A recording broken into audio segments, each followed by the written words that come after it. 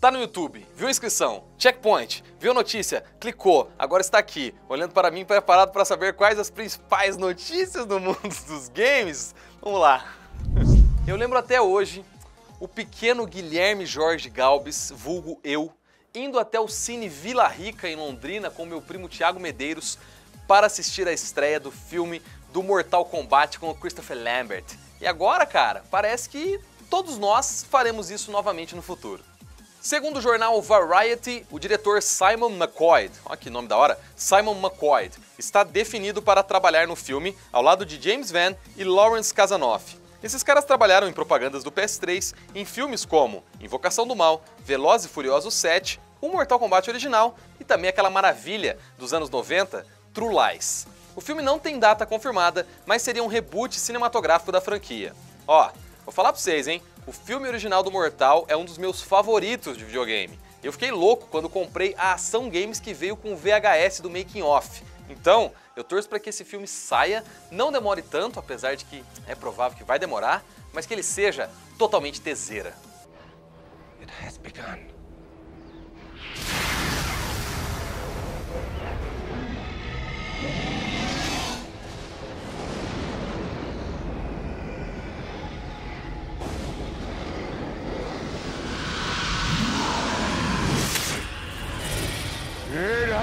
Begun! Está com bastante tempo livre? Então entra na nova moda, que é recriar trailer em Skyrim. As imagens que vocês estão vendo são do canal Up Is Not Jump, no YouTube. Os caras reconstruíram integralmente o trailer da primeira temporada de Game of Thrones na engine do Skyrim. Foram mais de 260 mods individuais. E aí, claro, que está incluso roupa e rosto dos bonecos. Se quiser conferir o vídeo completo, já sabem, tá aqui na descrição. Todos os anos a raça humana faz invenções que nos avançam enquanto espécie. Como faríamos para limpar vossas bundas sem o papel higiênico com folha dupla, por exemplo? Ou então as escovas de dentes? Ninguém gosta de gente bafenta. A revista Time todos os anos elege as principais invenções do ano. E para eles, nos últimos 12 meses, o PSVR foi um marco da história da nossa espécie. Segundo a revista, para ter acesso a um dispositivo de realidade virtual de ponta, as pessoas geralmente precisam desembolsar milhares de dólares. Não apenas para comprar o headset, como o HTC Vive, que custa 800, por exemplo, mas também para ter um computador que consiga aí rodar essa tecnologia. Já o PSVR foi criado para funcionar com um aparelho que milhões de pessoas já têm.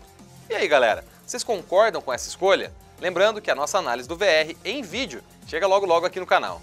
Você conhece alguma franquia de videogame que você gostava bastante e aí ela se tornou anualizada, passou a ser lançado todos os anos um título novo e perdeu a qualidade? Bom, o diretor, o CEO Strozelnik da Take-Two tem umas paradinhas para falar sobre isso. O assunto surgiu numa reunião com investidores da empresa, da Take-Two. Segundo ele, eles até poderiam transformar jogos como GTA, Red Dead e tantos outros em títulos anuais, e que isso daria sim mais dinheiro mas que ao longo do tempo as pessoas passariam a questionar a qualidade dos produtos e eles ainda iriam correr o risco dos jogadores cansarem desses títulos. Ainda disse que os concorrentes, ao fazerem isso, queimam suas franquias e acabam tendo que criar franquias novas. E acertar em títulos novos é incrivelmente difícil. O objetivo de Zelnick é ter um número suficiente de jogos que tenham lançamentos revezados ao longo do período, para que as lojas sempre tenham franquias novas, mas que cada uma tenha um tempo considerável de desenvolvimento. Para dar ainda mais uma cutucada, o Stro diz que a Take-Two não descarta realizar fusão com outras empresas, mas que isso só faz sentido se essas companhias adquiridas foram realmente acrescentar algo ao futuro da publisher. E mandou essa ainda, hein? Não acho que nossos competidores sequer saibam o que a palavra acrescentar significa. Esse cara é mamilos, hein? Mas não sei não, eu concordo, é largado. Amigos, seguinte, Final Fantasy XV sai no dia 29 e em vários lugares do mundo, alguns vendedores quebraram a Street Date e estão vendendo antes da hora. A Square já anunciou que o jogo tem um patch de Day One e que vai atuar com força total para a galera que está vazando conteúdo do game antes da data. Será que eles estão falando dos lojistas ou vão punir os jogadores? Atenção, galera que não abre Pokémon GO há um bom tempo, hein? Nessa quarta-feira vai ter um evento de dobro de Stardust e dobro de XP, mais ou menos no mesmo esquema que aconteceu lá durante o Halloween. Ele começa às duas da tarde e vai até o finalzinho do mês. Então, se você está pensando, ainda mais que aquele update que a gente comentou que pode trazer PVP logo logo no jogo, já dá aí para aproveitar esse período para dar uma subidinha no nível, né? Por que não? Galera, meu nome é Guilherme Sarda, vocês me encontram para trocar uma ideia, para falar sobre games no Twitter e na Twitch como Gui Sarda e a gente aqui como Tecmundo Games no Twitter e no Facebook também.